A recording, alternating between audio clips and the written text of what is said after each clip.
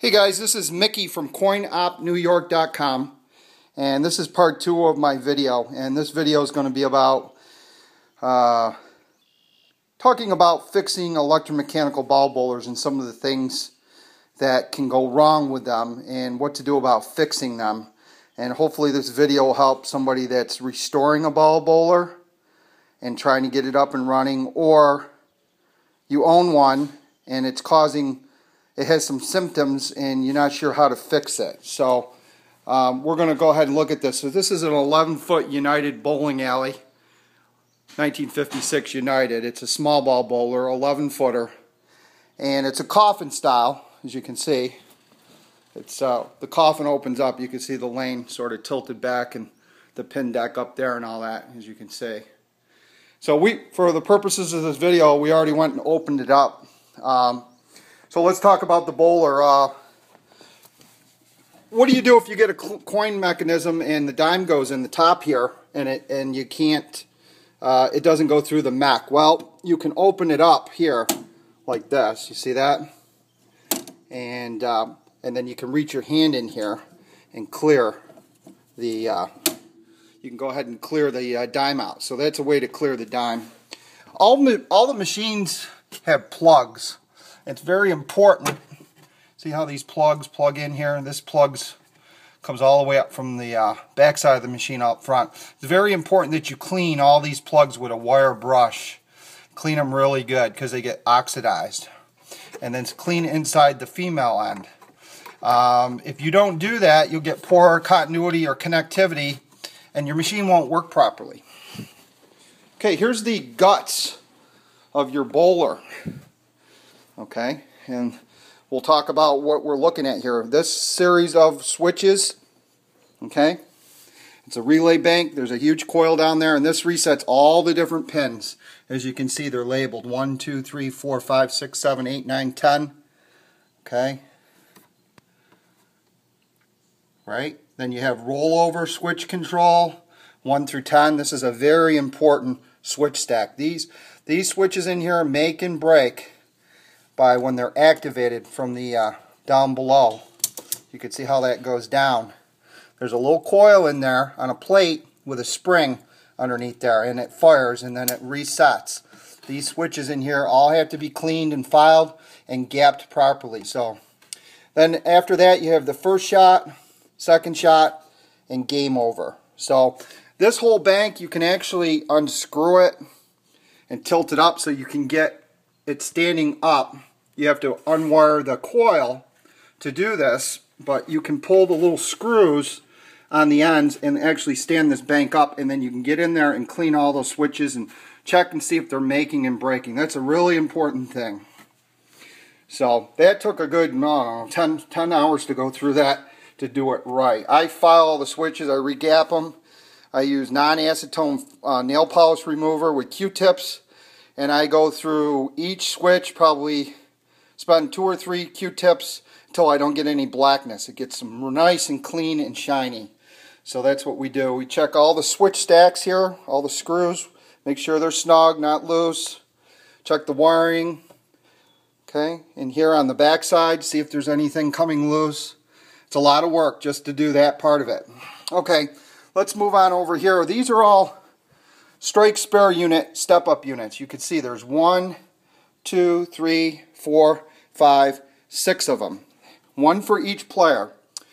What can happen is, is when you're doing these uh, games, these Bakelite boards on the front here get warped and they actually bow in, which causes this little arm down here, see this arm, when it moves up the step-up unit, to not make good connection on these little tracers.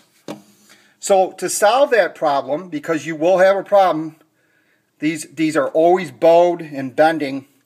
Even if you bend the little fingers on the end and you, you bend them in to make good contact, they will still not function properly. So what you do is you go out and buy these little pieces of wood okay, at the hardware store. Have them cut 5 inches long, half inch wide, 3 quarter inch in width okay? And you stick them in between the metal plate and the Bakelite board. And what that does is, it allows this board to be pushed out so it makes good contact with the wiper blade that's moving up with the little fingers on it. You see how I have each one of those in there? We had a scoring issue where we would get two strikes then the third strike it would give me 30 points but then intermittently sometimes it would give me 20 points or 10 points. It's supposed to give you 30 every time if you're holding two strikes. If you bowl a third strike, you should get 30 points, so on and so forth. What we found was is that these were not making good continuity or connection. Sometimes they would, sometimes they won't. When we put these little boards in here, it solved the problem. No more issues.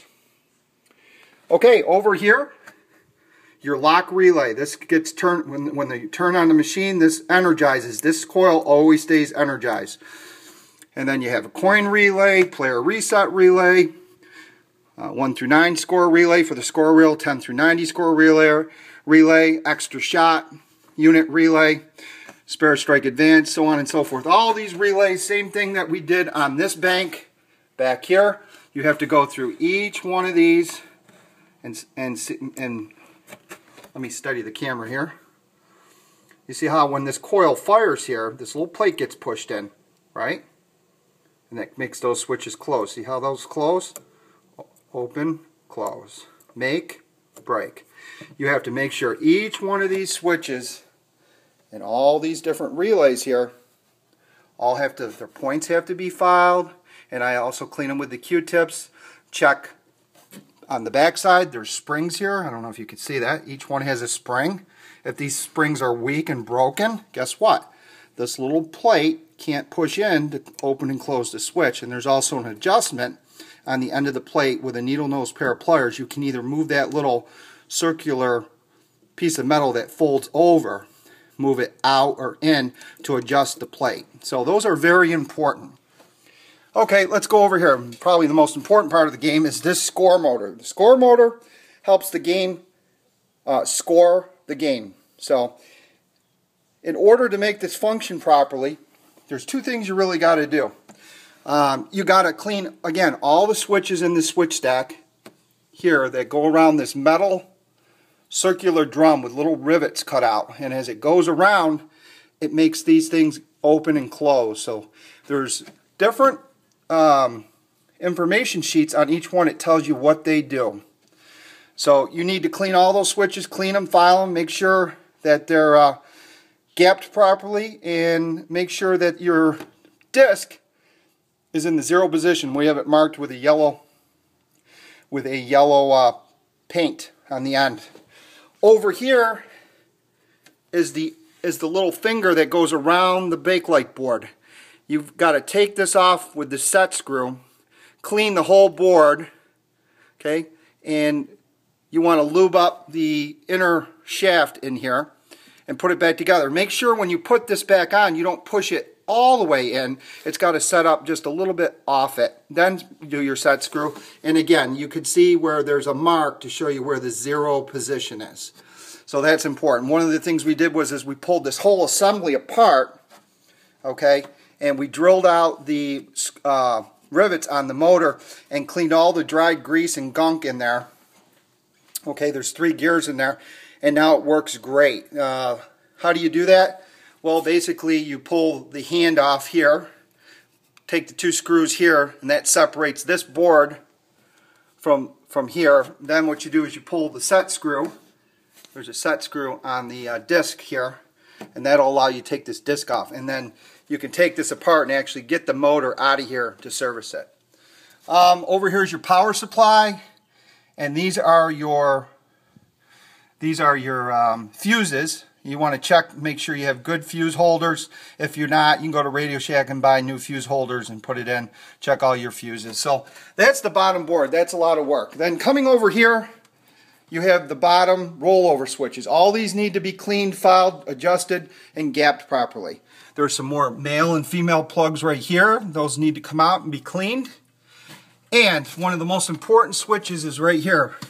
When you open this up, you see how this opens up? Um, we're going to go to part two because we're running out of time. Go to part two of fixing EM ball bowlers.